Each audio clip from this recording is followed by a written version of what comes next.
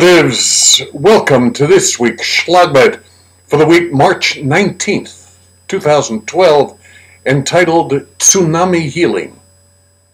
A year ago, Japan was devastated by a magnitude 9.0 quake, causing a tsunami that claimed over 20,000 lives.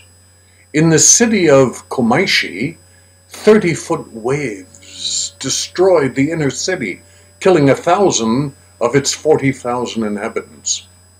When the waters receded, rescuers entered the city's devastated streets and started pulling the dead from the rubble. They carried the bodies to the gymnasium of a vacant middle school that had escaped damage, and it became a large morgue. Atsushi Chiba, a 72 year old retired undertaker, went to the gym to look for friends and family and was struck by the mounting numbers of bodies. Most of the dead were wrapped in plastic, still in muddy clothes, with their rigid limbs sticking out. Mr. Chiba, well trained in the ancient Buddhist rituals of preparing the dead for cremation, looked at them and thought, if the bodies were left this way, the families who came to claim them wouldn't be able to bear it. In Japan, he said, we treat the dead with respect as a way of comforting the living. So the first thing he did was to wipe their faces clean, and then he massaged their stiff limbs so that their bodies looked less contorted. He wanted every family to know that somebody had taken care of their loved one until they arrived. Mr. Chiba's attempts to honor the dead quickly caught on. People put together the school desks to build a makeshift altar, and each time a body was carried out, workers lined up with their heads bowed to pay their last respects.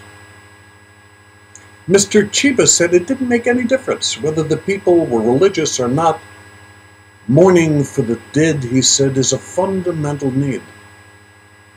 This simple act of humanity offered comfort to the living.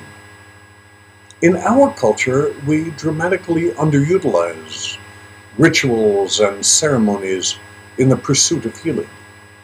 Even though rituals and ceremonies provide the structure by which people get in touch with their hearts and souls.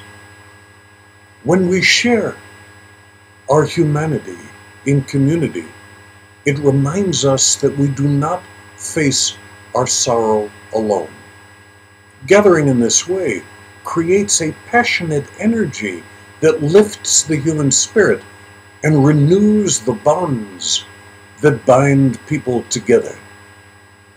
We need to spend more time in ritual and ceremony, especially in times like these.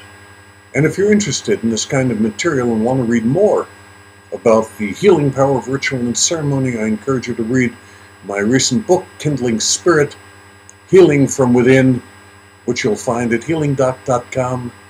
And in the meantime, reach out before disaster befalls us and connect in community that reminds you that you are not alone. Have a wonderful week. Remember, we are all connected. I say this for all my relations. Mitakuye-oyasin.